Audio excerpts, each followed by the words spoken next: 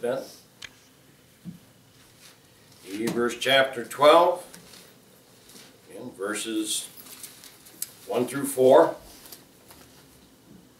We'll read through them again.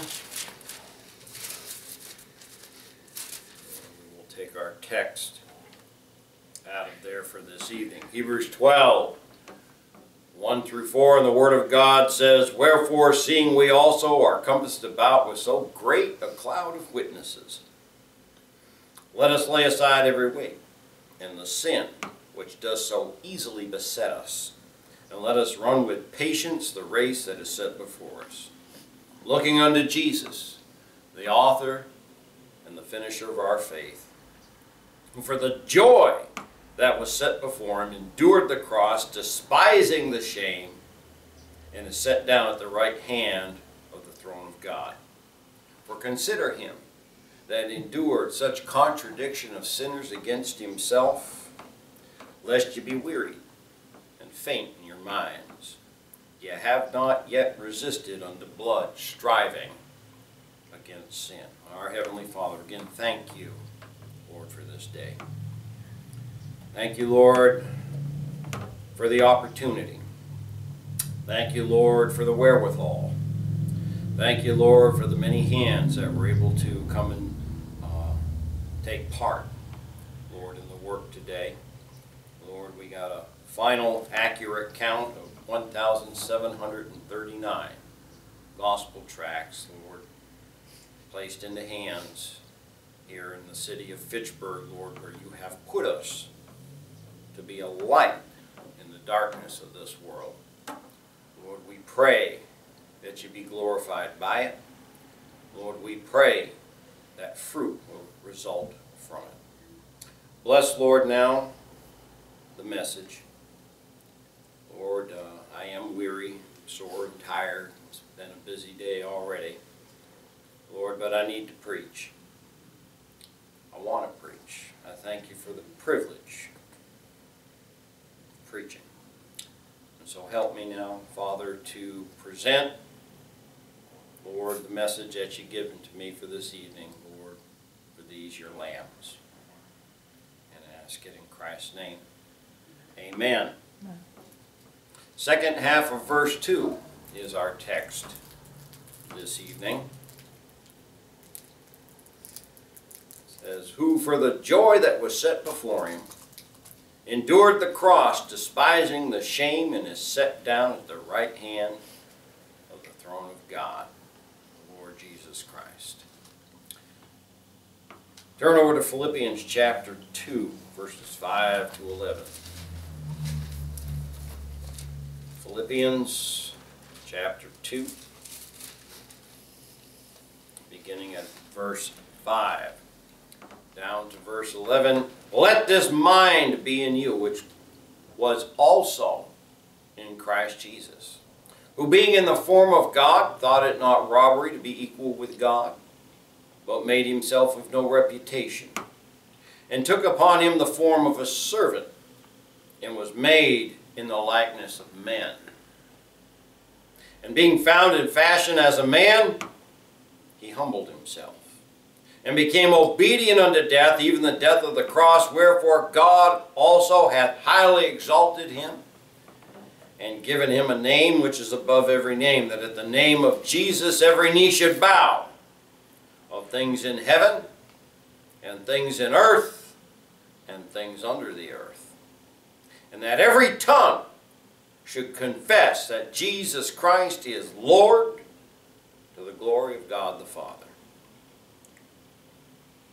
Let this mind be in you, which was also in Christ Jesus. We're given in our text as well as the verses that we've just read here in Philippians the very mentality that is expected of each and every one of us. The Lord, the eternal and all glorious Word of God, that aside. He laid aside his deity and became a mortal man. A humble man, a lowly man, an unpretentious man. He, the only begotten Son of God the Father, took on himself the form of a servant and presented himself for selfless service. He humbled himself. Don't ever pray, oh God, make me humble. God will humble you. okay? You're a whole lot better off if you humble yourself. Humble yourself. You know, he did it. He did it willingly. He did it knowingly. God the Father did not have to humble Jesus Christ so that he would serve. He did it himself. There was no pride. There was no arrogance. There was nothing there that God had to, there wasn't a, a, a, a selfish will that had to be broken and subdued and eradicated before the Lord Jesus Christ would serve. He became obedient by his own will and subjected himself to the will of God the Father. Jesus Christ had died to self long he surrendered himself to the spiritual and mortal death of the cross.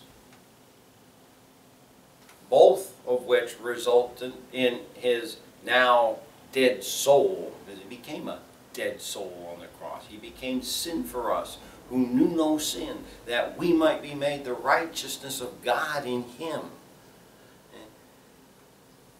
And that spiritual and then mortal death resulted in his dead soul suffering in hell on our behalf to pay the price for our sins. Okay? All these all that say, oh, you know, Christ paid for sins on the cross. Well, how did that happen? How did a mortal death pay the price of sin? Well, then everybody goes through mortal death would be able to have, well, my sins are paid for. I went through mortal death.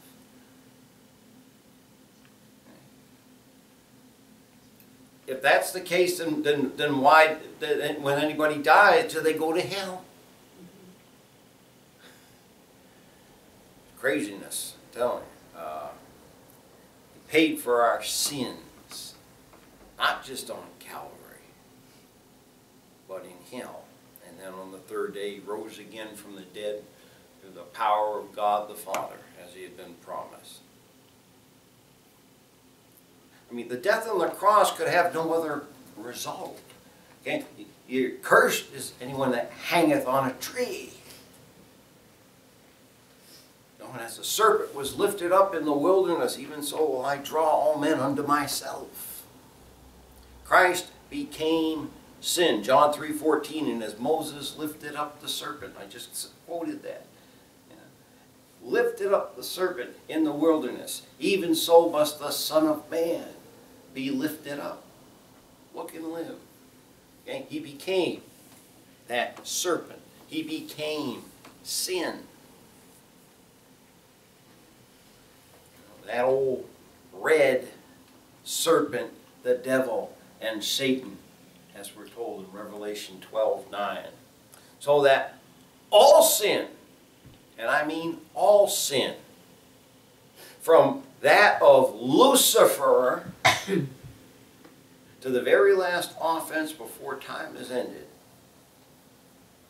and to the satisfaction, and, you know, I mean, the complete satisfaction of the holiness and righteousness of God. Yes, Satan's sin has been paid for. Is he going to take advantage of it? Not according to this. Not that he could. The salvation that Christ wrought is not for the spirit realm not for them. But God has been satisfied. The price has been paid. It goes on and says, and for the joy that was set before him. Oh, uh, I've heard a lot of messages preached that talk about what Christ endured on the cross physically and spiritually and how horrible it was. I've preached it myself. But here it says that for the joy that was set before him, the joy of obedience, the joy of knowing that he was fulfilling the predetermined and desired will of the Godhead. This is something that he and God the Father and God the Holy Spirit had devised as a plan, a means of salvation for all humanity while he was still deity, before anything was ever created. And then he said, and I'll be the one to fulfill it. For the joy of becoming the promised and prophesied woman's seed, the Christ of God, the Lamb of God that taketh away the sin of the world, the Savior and Redeemer of men, the conqueror of the destroyer, the devil, and the eternal victor over death and hell.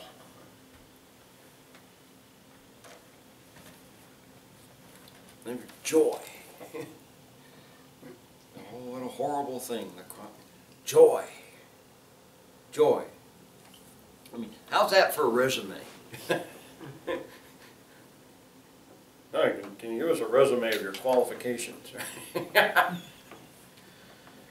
for the joy of the knowledge that he knew that he would rise from the dead after the third day and would accomplish completely all that had been determined. It was done.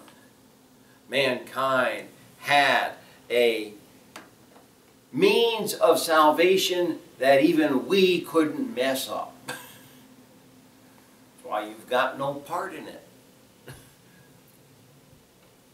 It's been completed by God.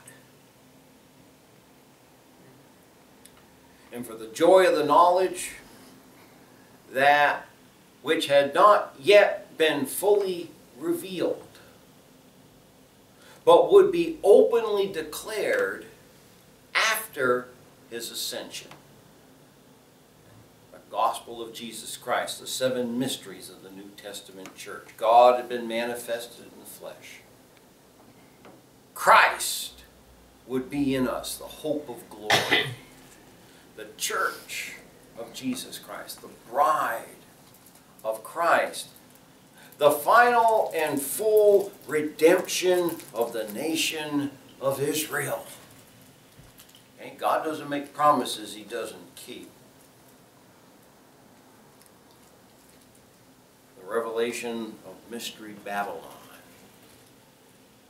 The mystery of iniquity that already at work in the world at Christ's time and working steadily, ceaselessly, tirelessly for the last 2,000 years in preparation for bringing the Antichrist to power. If you don't believe so, you should have been out there on Main Street today for three hours and seen the stuff that walked by. And then, of course, the blessed hope of the church, the Lord Jesus Christ returning take the church out and take us home in preparation for us returning with Him when he comes to claim what's his. He endured the cross. Go back to Hebrews, but let's go to Hebrews 13, the very next chapter, and pick it up at verse 10. Hebrews chapter 13, verses 10 down to 14. We have an altar whereof they have no right to eat, which serve the tabernacle for the bodies of those beasts, whose blood is brought into the sanctuary by the high priest for sin, are burned without the camp. Wherefore Jesus also, that he might sanctify the people with his own blood, suffered without the gate. Let us go forth, therefore, unto him without the camp, bearing his reproach. Okay, again, you were out there Main Street or have been there any other time when we've been doing these kinds of programs, you know. Okay, by the response we get from some, that we bear the reproach of cross and do it with joy. Be glad that you are despised for his sake. For here we have no continuing city, but we seek one to come. Yes, sir. yes, we do. This world's got nothing that I want. I'll be so glad to leave it behind. But somewhere up in the far north, get outside this galaxy, and you enter into the third heaven. There's a city under construction being built by the Lord Himself. Inside that great city, the New Jerusalem, is your mansion that you've been promised. Can't even begin to grasp the size, never mind the grandeur. I mean, the size of this thing 1,500 miles long, 1,500 miles wide, 1,500 miles high. if you set it down on the face of the planet Earth, it would run from Washington, D.C. down to Miami, Florida, from Miami, Florida, uh, out to uh, Colorado. Can't remember which city, but then again going up north into, into Montreal and Canada. I mean, this thing's huge. It's almost, just its footprint is almost as big as the continent of Australia. And it's as wide as it is long, and it's that high. I mean, You go up 1,500 miles, okay, you're outside the atmosphere. You're, you're going to have satellites going, I mean, so how big's my mansion? That I need that. God preparing those things for us just simply because He loves us and wants us to have those things. Romans 12, 1 and 2. I beseech you, brethren, by the mercies of God, that you present your bodies a living sacrifice, holy, acceptable unto God, which is your reasonable, I love that he put that in there, your reasonable service. And be not conformed to this world, but be ye transformed by the renewing of your mind, that you may prove what is that good and acceptable and perfect will of God. The physical, mortal death on the cross did not give our Lord one moment's pause that he might shrink back from it, from its suffering and pain. He could endure the shame. He could endure the shame. Artists, I'm sure, for a sense of decency, will uh, have painted pictures of the crucifixion having with cloth wrapped around his loins. That wasn't how it was. He hung there naked, treated shamefully. All the world to see, to mock at him. He can endure the shame.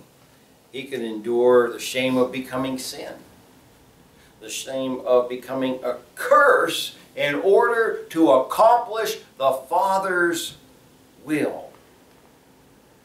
He was far capable of enduring those things, of being lifted up like a vile criminal before all the world, though he was innocent of any sin, innocent of any crime. He could endure that shame of say, being hung naked for all the world to see. Most folks, they don't have any kind of shame about running around naked, nearly so. Yeah, Should have been out on Main Street. He was mocked, he was ridiculed by the lewd and the vulgar people that were there as his mortal flesh hung there, shuddering and shaking and straining against the wounds and the indignities that it was suffering. I mean, I'm not going to go into the whole thing of what occurs to a person in crucifixion. Okay, but while he was hanging up, he lost his bladder. He lost his bowels, straining against the intense pain and the spasming of his muscles, okay, and the pain in his organs. He's dehydrated. He can't breathe. He's got to pull himself up against those nails and push with his feet against those nails to get himself up so he can get air into his lungs and then finally the pain and the straining's too much and he collapses again, can't breathe. That's what goes on through the whole process. The only thing, only one thing had given the Lord Jesus Christ even one moment's pause in fulfilling the will of the Father, and that was because of the knowledge that when he became sin, and so died spiritually and became a dead soul, as he hung there between heaven and earth, is that he would be separated from God the Father and God the Son of a necessity because he had become sin. Son separated away from God the Father. The Son separated from the Holy Spirit of God as he hung there in agony. That's the only thing that gave him any pause. And it wasn't while he was on the cross. It was while he was in Gethsemane the night before, praying, begging the Father. Not because he was afraid of anything else, but didn't want to be separated from God. Any way that this cup can pass from him, Lord, let thy will be done not my will. I mean, to, to be in such an agony that it says that he literally sweat blood. You know, the strain, the, the, the, the agony and torment so great that blood vessels were bursting in his body and it was coming out through the pores of his skin.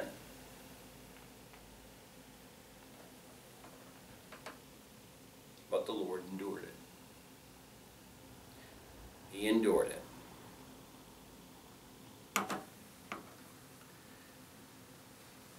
knowing that through his obedience, the will of God the Father would be accomplished and be glorified,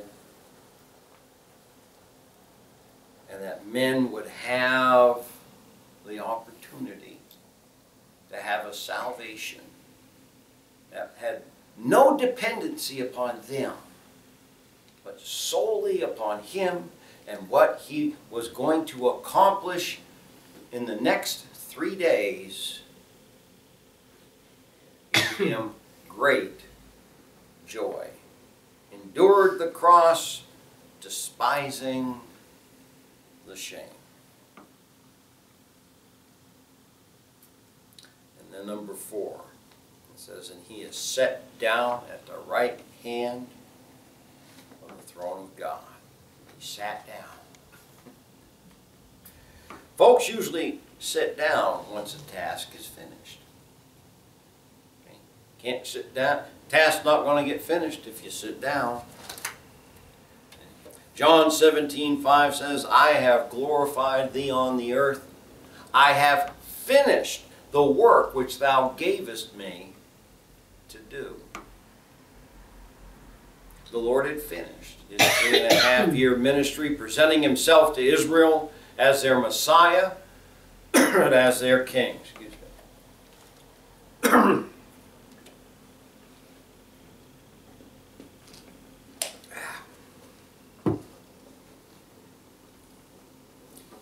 and he was now ready to return to his glory in heaven. John 17 again. This time pick it up verse 11. John 17 verse 11 down to 23. And now I am no more in the world, but these are in the world, and I come to thee, Holy Father. Keep through thine own name those whom thou hast given me, that they may be one as we are. While I was with them in the world, I kept them in thy name. Those that thou gavest me I have kept, and none of them is lost but the son of perdition, that the scripture might be fulfilled. And now I come to thee, and these things I speak in the world, that they may have my joy fulfilled in themselves. I have given them thy word. The world hath hated them because they are not of the world, even so, me, even as I am not of the world. I pray not that thou shouldest take them out of the world, but that thou shouldest keep them from the evil. They are not of the world, even as I am not of the world. Sanctify them through thy truth. Thy word is truth. As thou hast sent me into the world, even so have I sent them into the world. And for their sakes I sanctify myself, that they also might be sanctified through the truth. Neither pray I for these alone, but for them also which shall believe on me through their word. That they all may be one, as thou, Father, art in me, and I in thee, that they also may be one in us, that the world may believe that thou hast sent me. And the glory which thou gavest me, I have given them, that they may be one, even as we are one. I in them, and thou in me, that they may be made perfect in one, and that the world may know that thou hast sent me, and hast loved them as thou hast loved me. Christ had finished laying the foundations of the New Testament church. From here we need to go to Ephesians 2 once more. Ephesians chapter 2, verses 19 to 22. Ephesians chapter 2, verses 19 to the end of the chapter. Now therefore ye are no more strangers and foreigners, but fellow citizens with the saints and of the household of God, and are built upon the foundation of the apostles and prophets, Jesus himself being the chief cornerstone, in whom all the building fitly framed together groweth unto an holy temple in the Lord, in whom ye also are builded together for an habitation of God through the Spirit. The Lord Jesus Christ had laid the foundation, and the Apostle Paul, to whom the Lord gave those seven mysteries for the church, continued the structure. 1 Corinthians 3. 1 Corinthians chapter 3.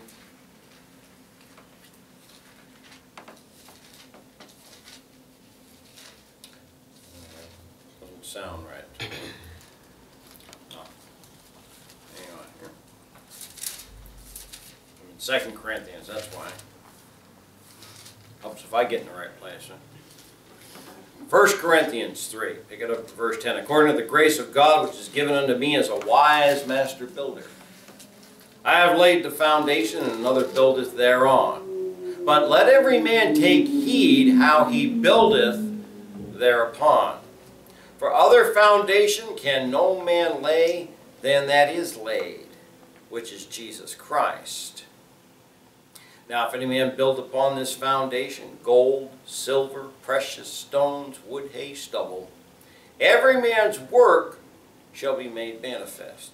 For the day shall declare it, because it shall be revealed by fire. And the fire shall try every man's work of what sort it is.